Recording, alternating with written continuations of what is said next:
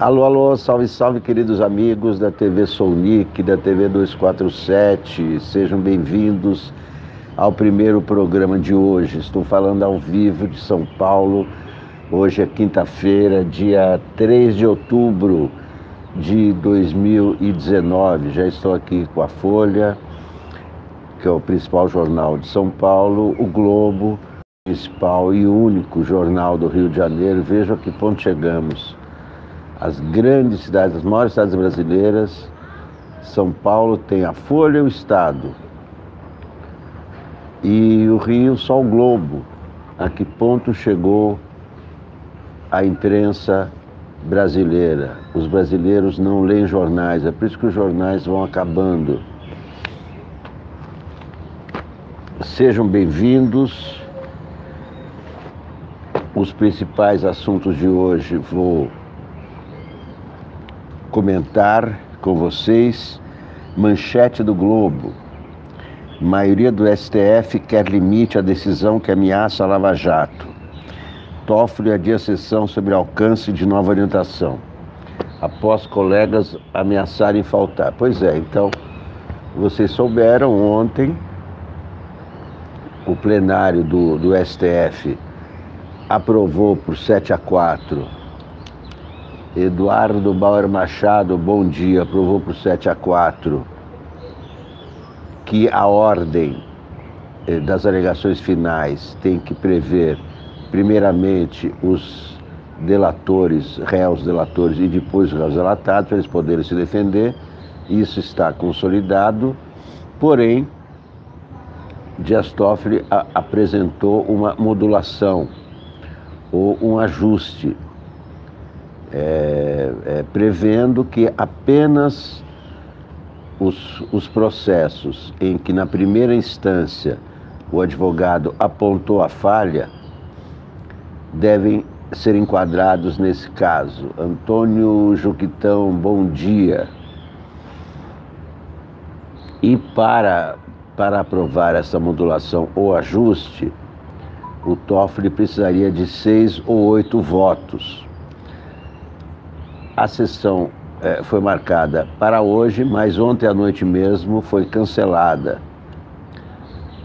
É, não se sabe exatamente por quê. É, o que se comenta é que os ministros resolveram faltar. Resolveram faltar. Eu, eu acho que o Toffoli adiou porque não conseguiria os votos que ele precisa. Ele não quer liberar essa questão sem a modulação ou ajuste. Mauro Lenioli, bom dia. E então ele preferiu cancelar a sessão que haveria hoje e não há nova data para outra sessão. Então está em suspenso a questão dos delatados e dos delatores. Rosana, bom dia. Carla Luísa Veras de Pelotas, Vanderlei Santos, salve Pelotas. Vamos ver os comentários dos colunistas. E a, a, outra questão de ontem foi a posse do novo PGR Augusto Aras. E como eu previ, previ foi fácil prever, é, o, o, o caso de, de Augusto Aras e, de, e do presidente da República é um caso de amor. Né? Mais uma vez, Bolsonaro recorreu a essa metáfora, diz que o, é, foi amor à primeira vista a relação dele com Augusto Aras e os dois se abraçaram efusivamente. Para mim é um abraço indecente, porque aí se consumou a quebra da autonomia da PGR. A PGR é um órgão autônomo que não pode ficar submetido ao governo, é um órgão do Estado. É, mas a, a, cerimônia de ontem, Luz Cláudio Freitas, Cleonice Rocha, deu, deu a, a, a clara impressão de que não há nenhuma autonomia, que o é, o, o PGR, Augusto Aras, foi nomeado para satisfazer as demandas do presidente da República. E as demandas do presidente da República nem sempre são as demandas do Estado. É um casamento espúrio, esse amor à primeira vista é um casamento espúrio entre a presidência e o Augusto Aras. Nunca se viu anteriormente tal efusividade entre o presidente e o seu indicado. Lamentável essa nomeação desde o começo, uma nomeação viciada porque não seguiu a lista tríplice dos procuradores. Os procuradores elegem os seus representantes para que para preservar exatamente a sua autonomia.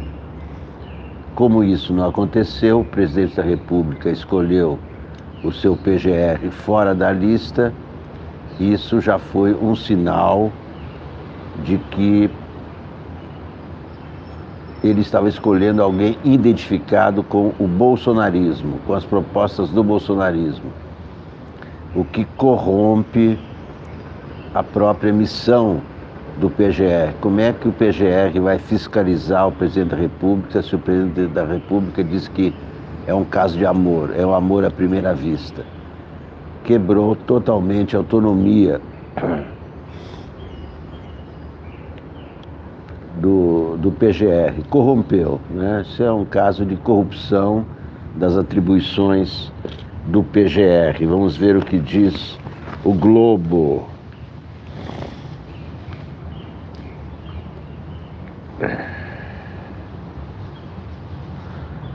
Deixa eu ver os.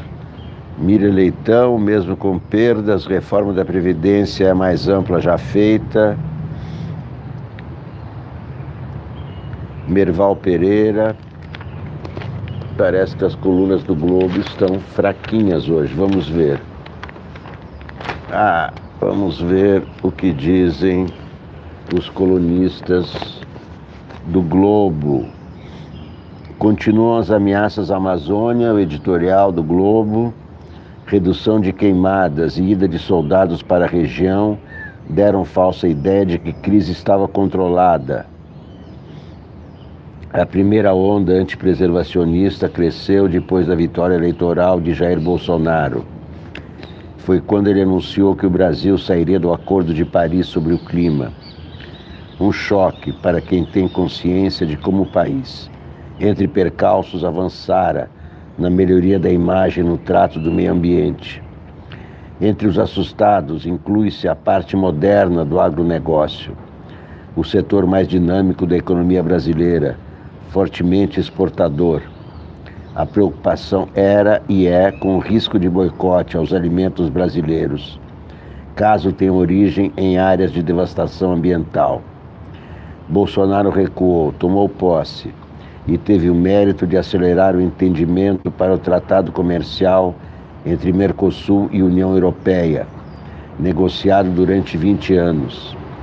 A existência de uma cláusula ambiental no acordo garante, em tese, que o Brasil cuidará de seus biomas para não sofrer retaliações da União Europeia. Enquanto isso, o ministro do Meio Ambiente, Ricardo Salles, cumpria de forma competente parte da plataforma antiambientalista do candidato Bolsonaro. Começava a investir contra instituições-chave na vigilância e preservação. Documento do IBAMA, reproduzido pelo Globo, registra que os soldados que estão lá na Amazônia não atuam mais em qualquer operação que resulte na destruição de equipamentos dos infratores, caminhões, bombas, motosserras, etc. Assim prometer a Bolsonaro a garimpeiros e madeireiros uma garantia de que voltarão a agir. Garimpeiros são até soldados em comício improvisado na porta do Planalto. O avanço da destruição deverá ganhar mais força. Isto é uma grande ameaça ao Brasil e ao mundo, ameaça às exportações brasileiras e ameaça ao meio ambiente mundial. Neste fim de semana, no Vaticano, tem o Sínodo da Amazônia, combatido por este governo. Aqui o Merval Pereira faz uma, uma um artigo uh, prevendo que haveria votação, a continuidade da, da votação de ontem no STF. Mesmo sem entrar no mérito da decisão que o Supremo Tribunal Federal vier a tomar hoje, na conclusão do julgamento sobre o qual o alcance da nova regra que exige que o réu delator fale antes dos demais réus, houve na sessão de ontem momentos que são definidores da posição de vários ministros, não sem frequência discordantes entre si, mas ontem com algumas concordâncias heterodoxas. O ministro Marco Aurélio Melo tirou o presidente Dias Toffoli do sério ao classificar a decisão de jeitinho brasileiro, pois não existe nada que indique na legislação em vigor que são diferentes entre si. José Marco Aurélio Melo contra o amplo direito de defesa, surpreendentemente. Para Marco Aurélio, que se orgulha de estar quase sempre na contramão de seus pares, o STF está legislando sobre um tema que não lhe compete, que deveria ficar a cargo do legislativo. Ele também foi contra que o plenário definisse uma orientação a ser seguida pelo sistema judiciário como um todo. Disse que uma decisão generalista deixará de lado aspectos específicos de cada caso, impedindo milhares de réus que se considerem prejudicados em seu julgamento de recorrer.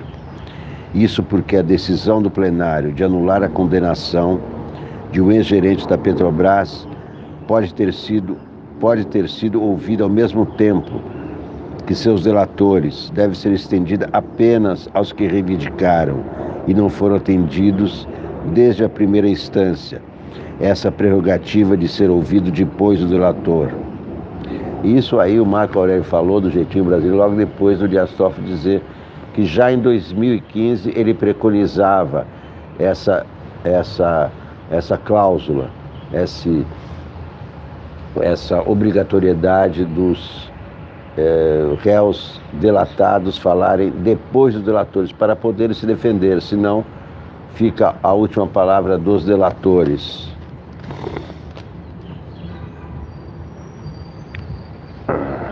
Marco Aurélio alegou, concordando com o ministro Alexandre de Moraes, que haverá um tratamento desigual para casos semelhantes. O ministro Ricardo Lewandowski lembrou que réus que não tiveram condições de pagar um bom advogado podem ter perdido a chance de exigir essa prerrogativa, que agora o STF tornou obrigatória. Porém, com a suspensão da sessão de hoje, está tudo em suspenso não está valendo nada.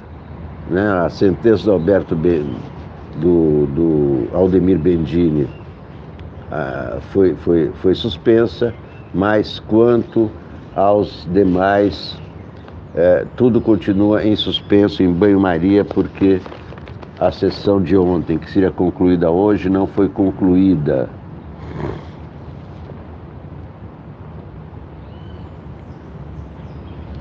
Os Miseráveis, escreve Ricardo Rangel a respeito do livro do Janot, que está causando muita polêmica.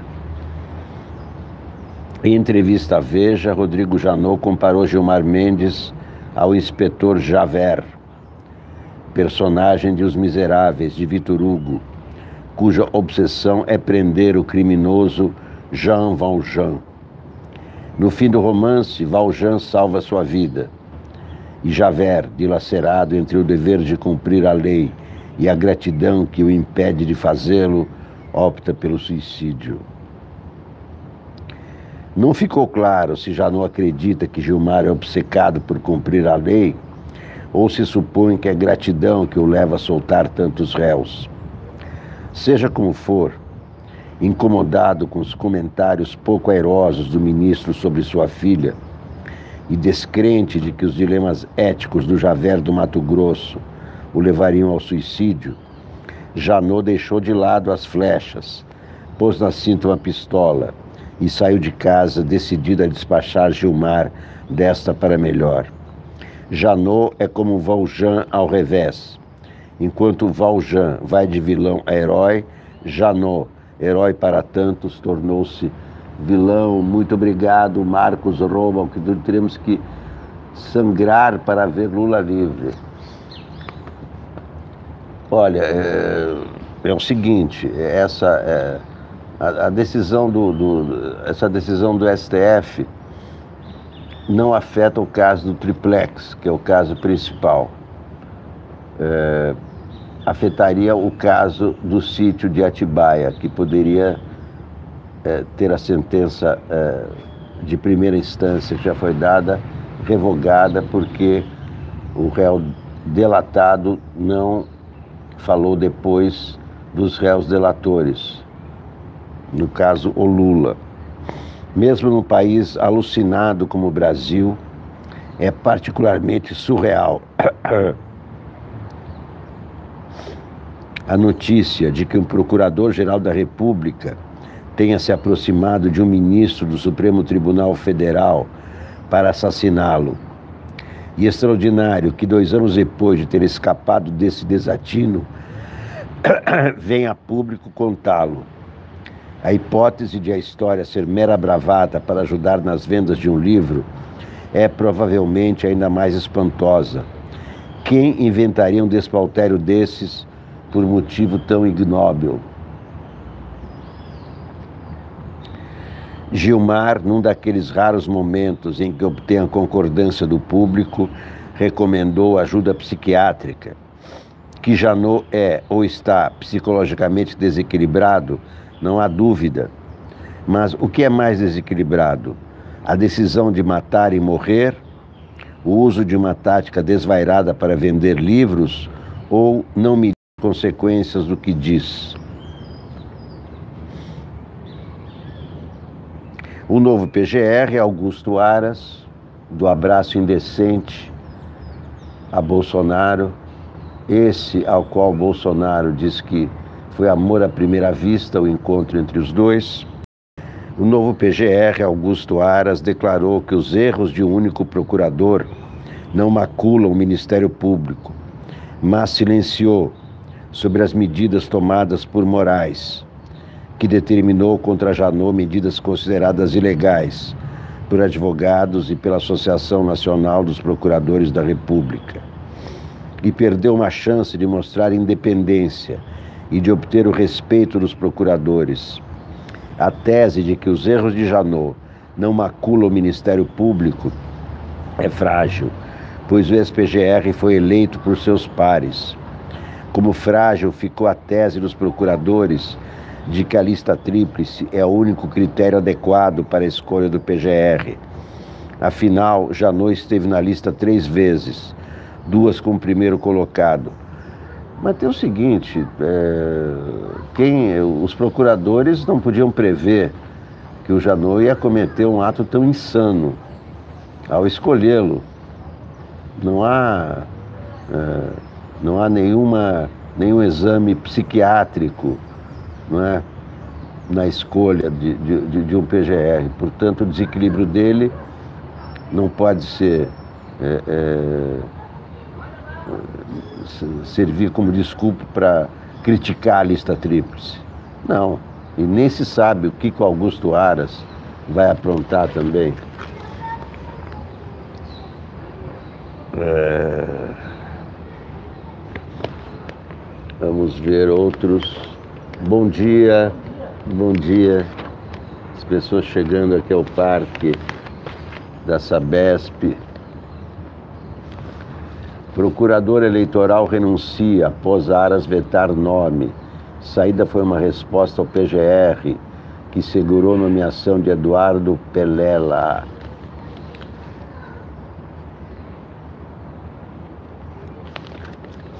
Bom, a questão dos delatados, dos delatores, está em suspenso, está em banho-maria.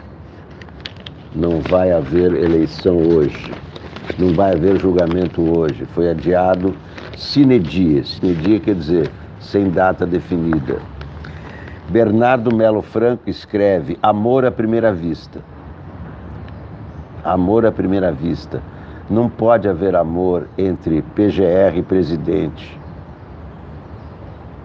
isso é indecente, é um amor espúrio, é um abraço indecente. Augusto Aras começou como Jair Bolsonaro queria. O novo procurador-geral tomou posse ontem no dia da estreia, defendeu a reabertura do caso Adélio Bispo. O homem que esfaqueou o presidente está num presídio de segurança máxima. Em julho, a justiça concluiu que ele é incapaz de responder por seus atos. Laudos de três psiquiatras, indicados pela defesa e pela acusação, apontaram um quadro de transtorno delirante. Mas parece que tem mais gente delirando em Brasília do que Adélio Bispo. Os advogados de Bolsonaro não quiseram recorrer e o processo foi encerrado. Mesmo assim, o presidente continua a alimentar teorias conspiratórias sobre o atentado. Ele se refere a Adélio como militante de esquerda, insinuando uma trama política para matá-lo. Em entrevista ao jornal Estado de São Paulo, o novo chefe da Procuradoria deu corda ao discurso presidencial. Na contramão da Polícia Federal, Aras disse não acreditar que Adélio tenha agido sozinho. Ele acrescentou que ainda é tempo de buscar a verdade real sobre o caso. Não foi a única piscadela a quem o nomeou. Na posse, Aras disse que a PGR não atuará contra a nossa cultura judaico-cristã ele já nomeou militantes bolsonaristas para postos-chave. Seu secretário-geral, Eiteu Santiago, é da turma que chama o golpe de revolução. O secretário de Direitos Humanos, Ailton Benedito, defendeu a apreensão de livros com conteúdo LGBT. Aras também agradeceu o apoio de Meyer Nigre, a quem chamou de amigo de todas as horas dono da construtora Tecnisa. O empresário foi um dos principais articuladores da campanha do presidente. Ontem, soube-se que ele também influenciou a sucessão na PGR. Vejam só que escolha espúria, interferência de empresário na escolha do PGR. À vontade, Bolsonaro chamou o procurador de querido e definiu a relação dos dois como amor à primeira vista. Só faltou ele me saudar com um grito de selva, gracejou, referindo-se à saudação dos quartéis. Que horror! Um PGR na coleira, assim como um Moro na coleira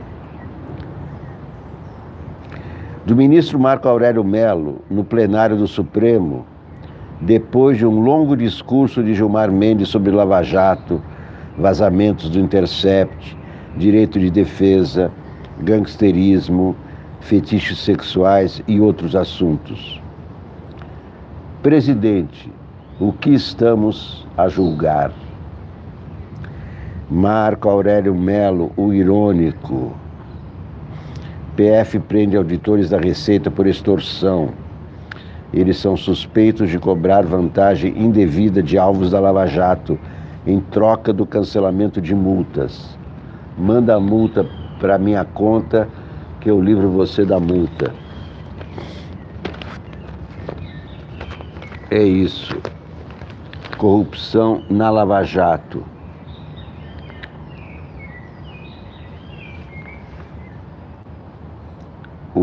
principal acusado chama-se Marco Aurélio da Silva Canal. Esse era o canal. Comissão da Câmara aprova convite para Janot se explicar. Janot, o senhor me prometeu me dar um tiro, até agora não me deu. Já faz dois anos que estou se passar e até agora o Gilmar. e até agora, a Comissão de Constituição e Justiça da Câmara aprovou ontem um convite.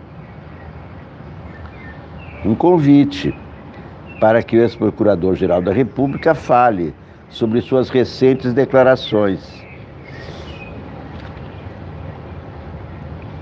O deputado delegado Pablo, vejam só os nomes dos deputados: delegado Paulo, esse é o Brasil de Bolsonaro.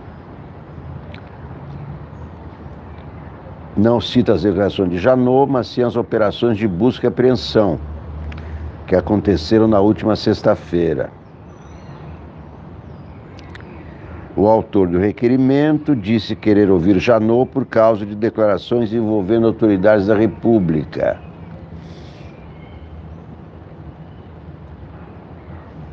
O parlamentar também incluiu no requerimento convites para o ex-chefe de gabinete da PGR, Eduardo Pelela, que esteve no cargo no período em que Janot comandou o órgão, e o ex-ministro da Justiça, José Eduardo Cardoso.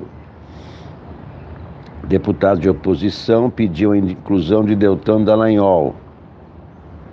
A sugestão, entanto, foi recusada.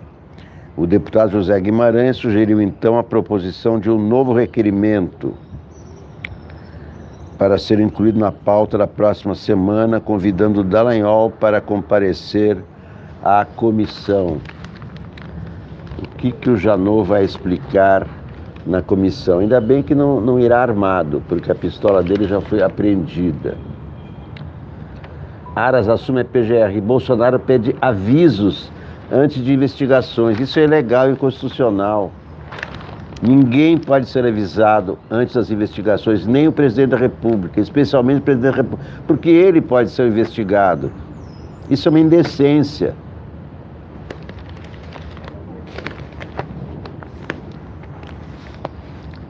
O presidente Jair Bolsonaro fez ontem um pedido aos integrantes do Ministério Público para que avisem o governo sobre eventuais práticas erradas a fim de que possam ser corrigidas antes de eventual punição.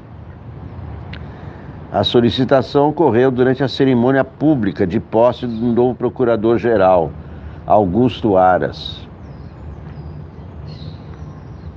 O, é o apelo que eu faço, esse é o Bolsonaro falando. É, eu não sei imitar o Bolsonaro. É o apelo que eu faço a todos os membros do Ministério Público. É importante investigar é importante fazer cumprir a lei, mas muitas vezes, se nós estivermos em caminho não muito certo e muitas vezes estamos fazendo aquilo bem intencionados, nos procure para que possamos corrigir. Corrigindo é muito melhor do que uma possível sanção lá na frente. Bolsonaro afirmou que não foi fácil escolher o novo procurador-geral mais uma vez, o presidente fez uma alusão ao jogo de xadrez. Disse que ele é o rei e o procurador-geral a rainha. Bolsonaro é o rei, Aras é a rainha. Meu Deus do céu.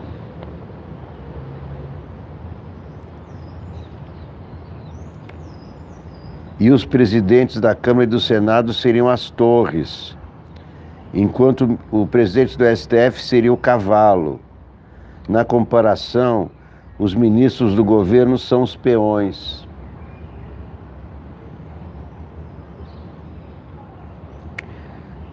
O ato formal da posse de Aras aconteceu na semana passada, em um evento no Palácio do Planalto. Já a cerimônia de ontem, com mais convidados, ocorreu na sede da PGR. Eu nunca vi um PGR tomar posse duas vezes. Durante a posse no cargo, Augusto Aras enalteceu investigadores da Lava Jato e prometeu reforçar o combate à corrupção e defender as minorias e o meio ambiente. No mesmo discurso, Aras cobrou equilíbrio, responsabilidade e respeito aos valores judaico-cristãos, que, na visão dele, permeiam a cultura brasileira ele disse que aceitou o cargo possuído da fé inabalável dos valores cristãos. Mas que valores cristãos? Isso é... O Estado é laico, não tem nada de valores cristãos, judaicos ou outros. Que vários valores da democracia.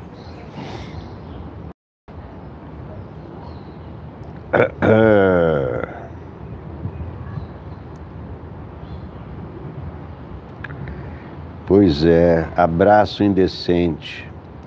Bolsonaro aperta a mão de Aras durante a cerimônia. A maioria do TRF1 quer caso de advogado de Adélio no STF. Pedido de vista suspendeu o julgamento de recurso movido pela OAB para barrar investigações contra Zanoni Manuel de Oliveira. Estão querendo investigar o advogado do Adélio, estão querendo quebrar o sigilo do advogado, e isso não é possível.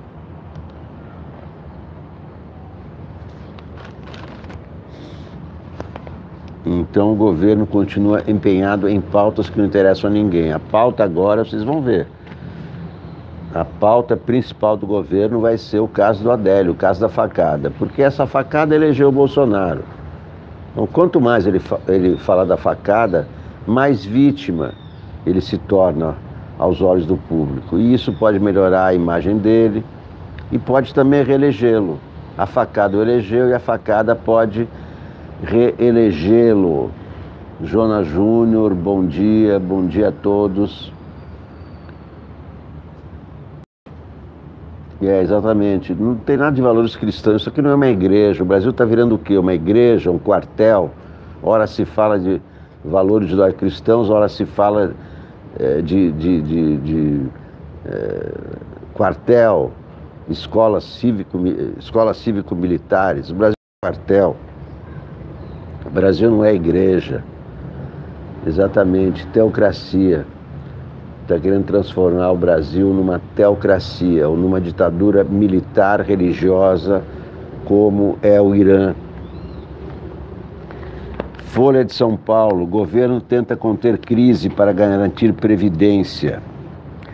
Senado aprova em primeiro turno versão desidratada da proposta de Guedes, porque o Senado concedeu um abono salarial de um salário mínimo para quem ganha até dois mil reais. O Paulo Guedes ficou revoltado.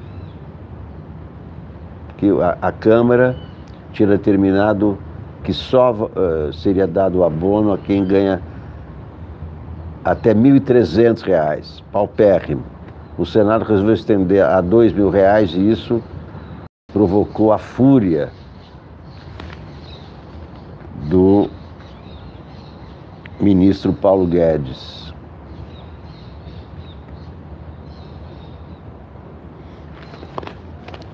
O presidente fala em amor à primeira vista. Meu Deus do céu. Ele buscou morte violenta, diz filho de reitor da Universidade Federal de Santa Catarina. Micael Cancelier, filho do reitor da Universidade Federal de Santa Catarina, Luiz Carlos Cancelier de Olivo, que se matou após ser preso e afastado do comando da universidade, declara temer ser preso pela Operação Ouvidos Moucos, a mesma que teve seu pai como alvo.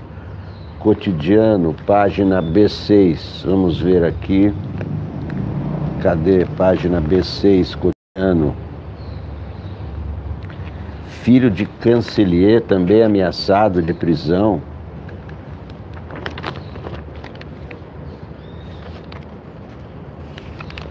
Vamos ver aqui.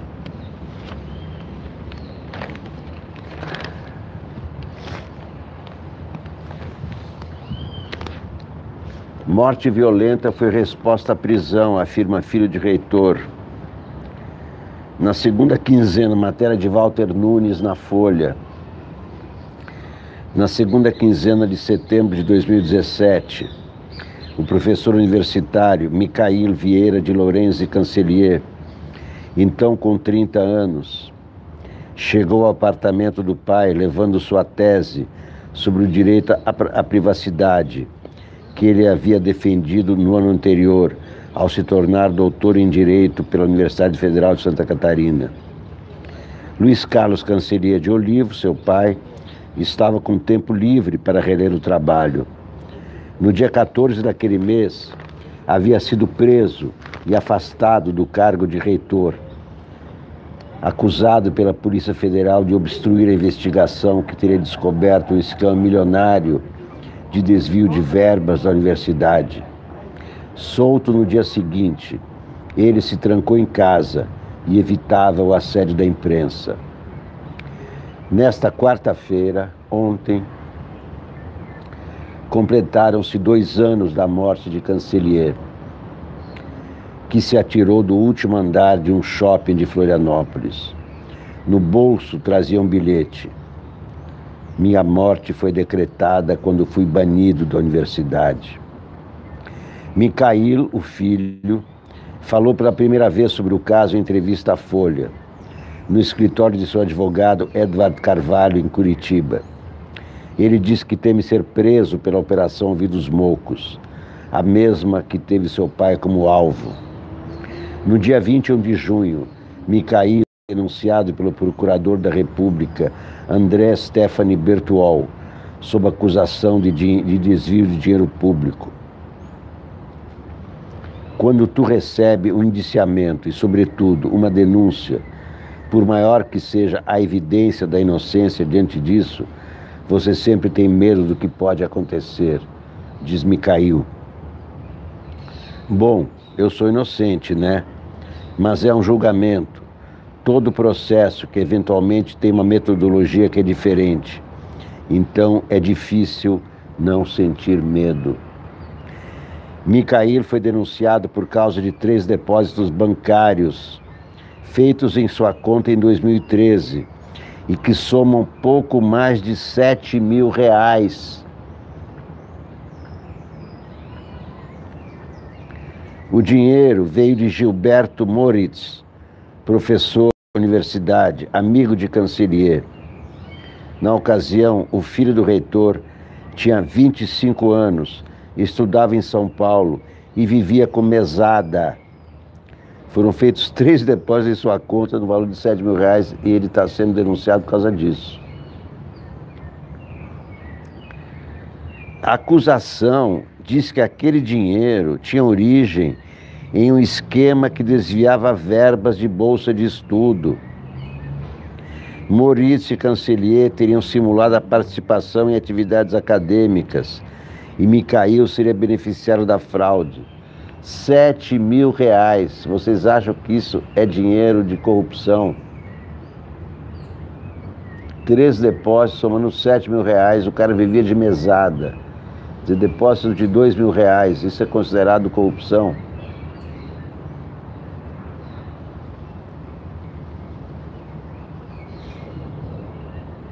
Micael disse que só soube dos repasses de, de Moritz em março de 2018, quando foi chamado a depor pelo delegado Nelson Nap, responsável pela Ouvidos Moucos.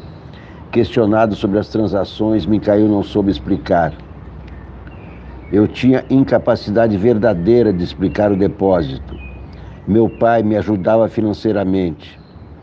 Se meu pai falasse, hoje vai ser depositado 1.600, eu não ia atrás de saber a princípio se foi feito ou não foi feito, exatamente por aquela conta. Estava dentro do padrão do que eu recebia na época. Um ano e dois meses após o relatório policial, sem nenhuma nova prova, a Procuradoria endossou os argumentos dos policiais e denunciou Moritz e Mikhail por desvio de dinheiro público. Em agosto, após a denúncia, a defesa de Gilberto Moritz protocolou sua justificativa para os repasses. A manifestação diz que a transação bancária realizada no pequeno valor se deu a um pedido de empréstimo do professor Luiz Carlos Cancelier de Olivo, que provia seu filho naquela época em que era estudante. A defesa também rebateu as acusações de que Moritz teria simulado a participação em curso da universidade. Caberá à juíza federal Janaína Cassol Machado decidir se Micael Moritz e outros 11 denunciados se tornarão réus. Primeiro o pai, depois o filho, atingido por acusações espúrias, falsas absurdas, surreais. Sete mil reais em três pagamentos, isso é visto por policiais como desvio de dinheiro da faculdade.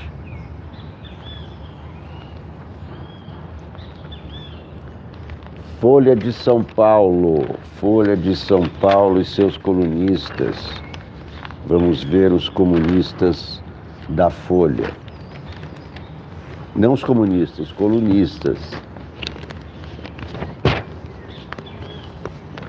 A Lava Jato faz água, escreve Maria Hermínia Tavares. Quero avisar aos distintos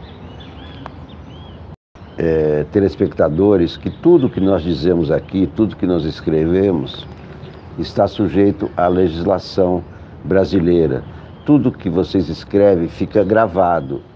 E calúnias, difamações injúrias podem dar ensejo a processos. As pessoas que escrevem calúnias, injúrias, aqui nesse espaço, estão sujeitas a serem responsabilizadas pela justiça. A Lava Jato faz água, escreve Maria Hermínia Tavares, pesquisadora do SEBRAP. A Lava Jato naufraga sob o peso de atitudes de procuradores justiceiros, de um juiz vaidoso e politicamente comprometido e de um ex-procurador destemperado. Todos dispostos a colocar suas paixões e interesses acima do devido processo legal caberá ao Conselho Nacional do Ministério Público e ao Supremo Tribunal Federal resgatar a operação das águas turvas. Até lá, permanecerá no mínimo duvidoso o seu potencial de robustecer o controle da corrupção política. A Lava Jato poderá ser apenas o mais vistoso dos espetáculos do gênero que se sucederam desde a redemocratização com limitadas consequências para o fortalecimento da moralidade pública. É o seguinte: a Lava Jato não combate a corrupção. A Lava Jato é uma operação policial. Quando ela intervém, a corrupção já foi realizada. Combater a corrupção é evitar que a corrupção ocorra. E isso a Lava Jato não faz. É preciso acabar com essa falácia de que a Lava Jato combate a corrupção. Não combate. A Lava Jato vive de corrupção, como os urubus da carniça. Combater a corrupção é criar mecanismos anticorrupção em todas as estatais, para que a corrupção não apareça. Isso se chama compliance, que existe em grandes corporações e que deve haver no governo. É assim que se evita a corrupção. Não é a operação policial que combate a corrupção, ela só aumenta a corrupção. A Lava Jato aumenta a corrupção e é uma operação corrupta. Corrompeu a Constituição, atuando além dos limites estabelecidos pelas leis brasileiras introduziu a tortura em suas operações, com as prisões temporárias ilegais prolongadas, a fim de obter delações, assim como era feito na ditadura militar em aparelhos do Estado como o DOI-CODE. Tortura para obter delações. Esse é o método da Operação Lava Jato. Ela não combate a corrupção, ela provocou grandes perdas para o país, provocou a queda do PIB, provocou o fechamento de dezenas de centenas de empresas e provocou a perda de milhares e milhares de empregos.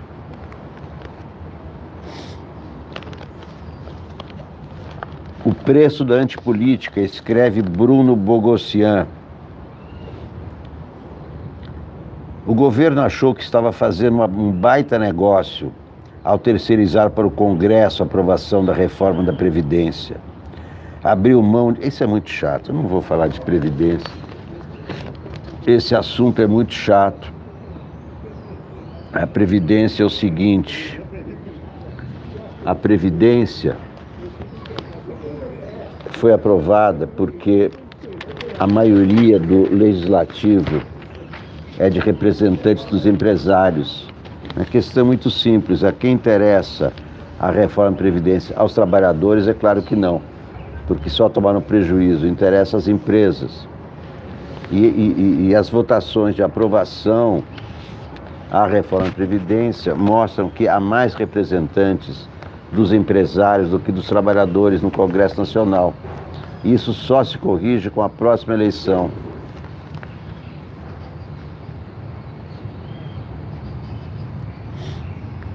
Apenas o começo, disse Daniela Lima no painel da Folha. A prisão de 14 integrantes da Receita do Rio não encerra o embate entre auditores e tribunais superiores. O ministro Gilmar Mendes, do STF, prepara processos contra os servidores que acessaram suas contas e as de sua mulher. Apesar de a Lava Jato do Rio ter investigado em sigilo e por quase um ano o grupo que foi detido nesta quarta-feira, Gilmar segue convicto de que havia uma interface irregular entre procuradores e fisco, mas agora circunscreve as suspeitas à Força-Tarefa de Curitiba. A interlocutores, o ministro ampara suas desconfianças em diálogos revelados pelo Intercept Brasil. Essas mostram procuradores de Curitiba falando sobre consultas informais da Receita a dados de autoridades.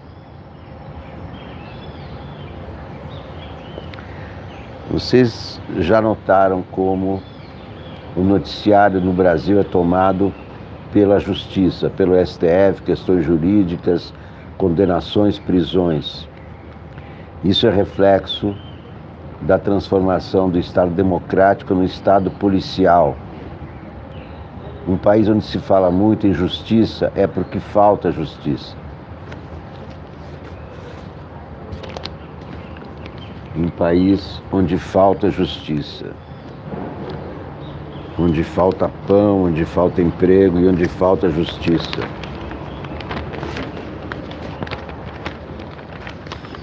Dias Toffoli está se saindo muito mal na presença do STF. Lamentável a gestão do Dias Toffoli. Lamentável. Ontem foi um grande exemplo. A votação já estava concluída pela determinação de que delatados réus têm que falar depois dos delatores e aí ele inventou a tal de modulação ou ajuste. E aí acabou.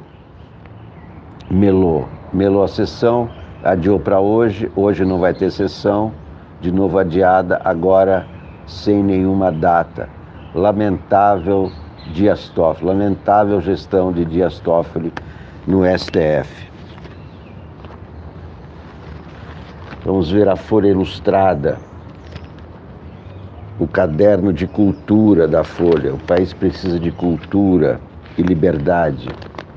O espírito de 1966 escreve Contar do Caligares. Esse sempre vale a pena ler. O último Tarantino, Era uma vez em Hollywood, repercutiu em mim como uma máquina do tempo e me jogou de volta a um passado um pouco esquecido e do qual suspeito que tenha sido mais importante do que eu costumo admitir. Importante, digo, para a minha formação e também para a transformação da nossa cultura. A cidade de Los Angeles do filme é de 1968 e 69, quando Sharon Tate foi assassinada pelos malucos da seita de Charles Manson. Malucos não, assassinos, covardes homicidas. Eu comecei a viajar a Los Angeles em 1966, contado Caligares. Acabava de casar com uma mulher nascida em Thousand Oaks, na Rota 101, na altura de Malibu. E ela trabalhava na indústria cinematográfica, como dublê e como atriz. Curiosamente, o filme de Tarantino é a história de um dublê. Quando cheguei aos Estados Unidos em 1966, o movimento pacifista e hippie contra a guerra do Vietnã já estava por toda parte e, sobretudo, na Califórnia. 1967 seria o Summer of Love, Verão do Amor, em São Francisco. Mesmo em Nova York, embora com menos tiaras de flores, os simpatizantes do American Communist Party e mais tarde dos Black Panthers eram atravessados pela onda hippie. A música, um estilo, do cabelo à roupa, uma simpatia por vidas comunitárias e errantes, e aquém dos eventuais textos militantes, uma literatura comum, a da geração beat da década anterior. Minha mulher não era hippie, mas quando a conheci em Roma, em 1965, estava com o livro Uivo de Allen Ginsberg embaixo do braço. Alguns livros dos Beats estão ainda na minha lista dos 200 livros que seria bom ter lido para não morrer idiota. Além de Ginsberg, Gregory Corso, Ferlinghetti, Kerouac, Burroughs, eles me transformaram e transformaram o mundo. Como? Por quê? Para entender, talvez seja bom se perguntar por que, desde os anos 60, os hippies herdeiros dos beats, eram também desprezados, ou pior, como mostra Tarantino. Alguém dirá que foi pelo uso das drogas, mas naqueles anos as drogas, sobretudo anfetaminas e barbitúricos misturados, já corriam soltas nas casas dos ricos e dos poderosos. Outros dirão que foi o sexo explícito, livre promíscuo. Luiz Felipe Pondé, nesta mesma página, um mês atrás, comentando o filme de Tarantino, foi nessa direção, imaginando que os hippies escandalizassem a América adulta com seus costumes, livres como a proposta de sexo oral por uma desconhecida que pediu carona. Talvez esses costumes liberados parecessem revolucionários nas áreas rurais do centro e do sul dos Estados Unidos, mas nas grandes cidades de costa a costa, em 1966, não precisava dos hippies para soltar o sexo de ninguém. As noitadas nas mansões angelinas, nos apês de São Francisco ou nos lofts do Vila de Nova York podiam facilmente enrubescer um, bip, um, hip, um beat ou um hippie. A liberação sexual dos anos 60, pensando bem, foi uma bola de neve que vinha rolando desde o fim da Segunda Guerra Mundial. Talvez por razões darwinistas, depois de cada triunfo da morte, o mundo sempre se torna saudavelmente devasso, ao menos por um tempo. História de Ó foi publicada na França em 1954. A festa no Factory de Andy Warhol começou em 1962. E em 1966, Existiam em Los Angeles saunas gays e hétero para sexo casual e promíscuo, que não tinham nada a ver com o movimento hippie. Quando em 1977 abriu Platos Retreat em Nova York, o primeiro clube de swing oficial, frequentado pela classe média alta e por celebridades, os clientes não vieram de Woodstock. Em suma, o que incomodava e foi marcante na onda beat e hip não era a facilidade do sexo nem a das drogas. O que era então? Pois é, os militantes políticos europeus ou americanos diziam que os hippies eram cúmplices do sistema porque viviam graças às suas falhas. Ou seja, eram como pessoas que quisessem revolucionar a injusta produção e distribuição dos alimentos mas se satisfizessem dos restos encontrados nas lixeiras dos restaurantes de luxo. De fato, os hippies viviam nas frestas. Por isso mesmo, em tese, não deveriam incomodar ninguém, salvo o exército, que precisava de soldados para o Vietnã. Qual era então o escândalo? Simples. Os beats e os hippies não sonhavam com as coisas com as quais sonhava a imensa maioria da classe média americana e europeia: acumulação de patrimônio, consumo, ostentação. Não tinham um projeto de sociedade para todos, apenas tinham vontade de desejar diferente. E o fizeram, ou pelo menos tentaram. Não é pouco. Eu também tentei. Eu, na minha juventude, vivia assim como hippie. Eu acho que vivo como hippie até hoje. Não acumulo nada, não tenho renda, não tenho poupança, tenho um dinheirinho que eu tenho na conta, não tenho um plano de saúde. Eu vivo como hippie. Assim como está descrevendo o contado Caligás, e não é por causa, por causa de, de, de sexo, não é por causa de droga, nada disso é, a vida hippie é essa, é a vida do índio. É, é, a vida que você tem dinheiro para hoje e amanhã você tem que ganhar de novo. O índio tem a caça para comer hoje e amanhã ele sai para caçar de novo. A vida do índio é muito parecida, por incrível que pareça, com a vida dos hippies. Embora sejam culturas tão diferentes, há muitos pontos em comum entre a vida dos índios e a vida dos hippies.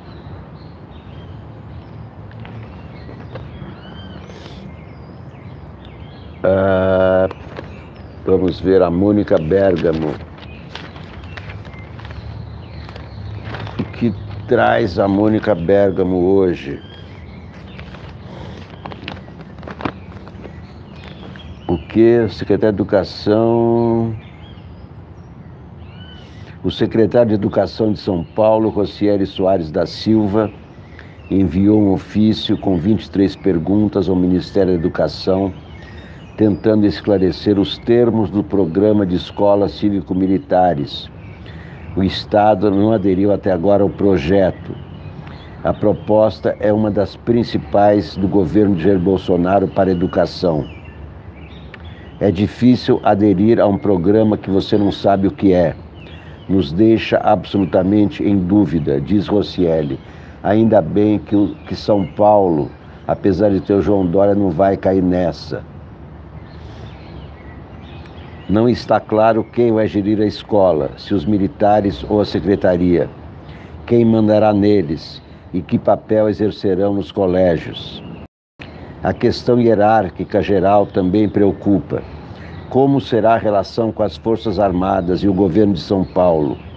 Instâncias federativas autônomas, questiona o secretário. A quem se recorre se algo não estiver ocorrendo bem?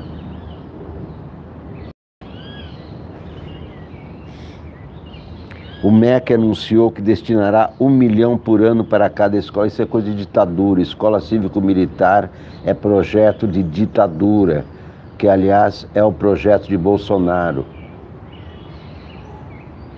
O MEC anunciou que destinará um milhão de reais por ano para cada escola. Não há informações, no entanto, sobre como o dinheiro poderá ser usado. Rossieri questiona quem pagará o salário dos professores e o uniforme das crianças, em geral mais caro que o das outras unidades. Pela oferta do MEC, Duas escolas paulistas poderão ser selecionadas para o programa. O Estado tem 5.400 unidades escolares. Como não aderiu até a sexta-feira, prazo definido pelo MEC, a Secretaria Paulista enviou as questões e pediu novo prazo para estudar melhor o projeto. O Ministério ainda não respondeu.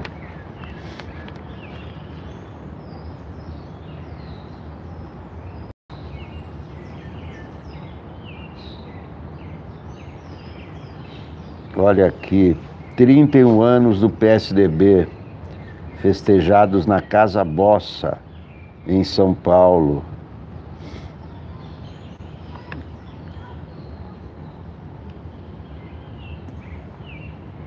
Ministros do STF que são contra a prisão depois de condenação em segunda instância defendem que a tese seja mesmo debatida na próxima semana como cogita o seu presidente Dias Toffoli. Essa é a votação, é o julgamento mais importante de todos. Já que é para apanhar, diz um deles, é melhor apanhar de uma só vez. Além dessa proposta considerada impopular, o STF deve julgar a suspeição de Sérgio Moro, nos processos de Lula.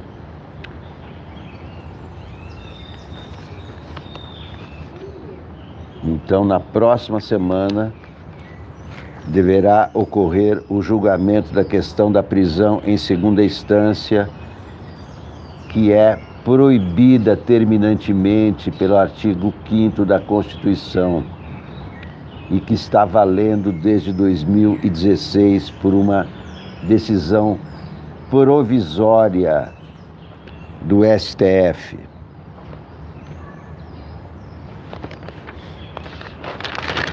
Muito bem. Meus caros amigos, minhas caras amigas, muito obrigado por assistirem ao primeiro programa de hoje da TV Sony. Quero informar vocês que o projeto Catarse agora permite também contribuições mensais de apenas 10 reais. Com apenas 10 reais você pode contribuir para a TV Sonic continuar cumprindo a sua missão. E qual é o meu compromisso? É o mesmo compromisso que eu tenho há 40 anos. A informação correta, sem teorias da conspiração, sem fake news, para que possamos entender o que está acontecendo, sem nenhum viés ideológico. Meu único viés é o viés jornalístico. Eu nunca me filiei a partido, jamais me filiarei a partido nenhum. Meu único partido é o jornalismo. E esse é o compromisso que eu tenho com vocês: informar, trazer todas as informações, sejam de esquerda, sejam de direita, sejam de centro, importa. Todas as informações são bem-vindas, desde que sejam verdadeiras. E as informações verdadeiras servem para a gente chegar a conclusões mais adequadas e também mais próximas à realidade e à verdade.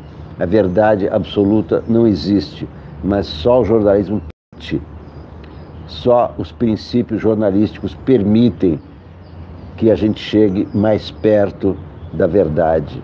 Essa é a razão da existência da TV Sonic.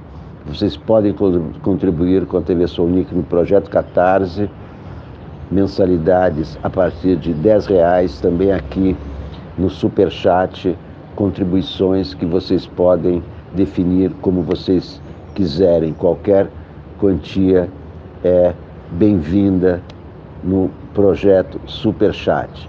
Muito obrigado a todos. Até o próximo programa, logo mais. Tchau.